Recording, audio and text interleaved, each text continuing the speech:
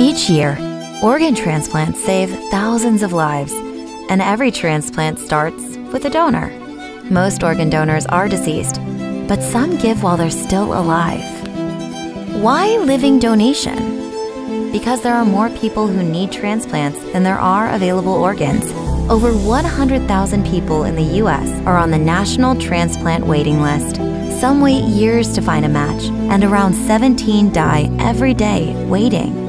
Healthy people can step in to save them by choosing to donate one kidney or a section of their liver while alive. And because living donors give under optimal conditions, their recipients have even better health outcomes than recipients saved by deceased donors. How do donors live without their organs? Most people have two kidneys, but one is enough to keep a normal, healthy body going strong. And livers are amazing. They regenerate, seriously.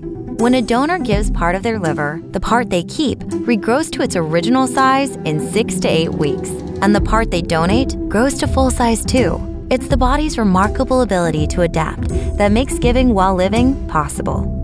How do I become a living donor?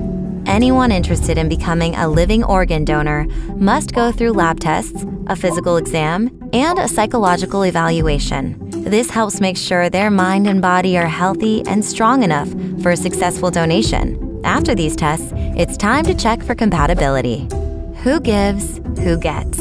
Most living donations are directed, meaning the donor chooses the recipient. Often it's a family member or a friend.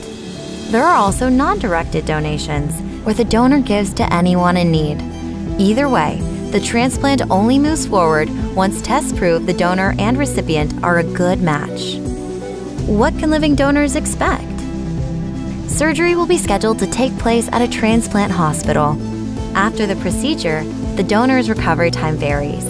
Kidney donors typically spend two to three days in the hospital and return to normal activities in 6 to 12 weeks. For liver donors, it's around 5 days in the hospital and 8 to 12 weeks of recovery. After that, donors resume life as usual without special limitations or medications. They can enjoy active, healthy lives. Lives made happier with the knowledge that they stepped up to save someone in need.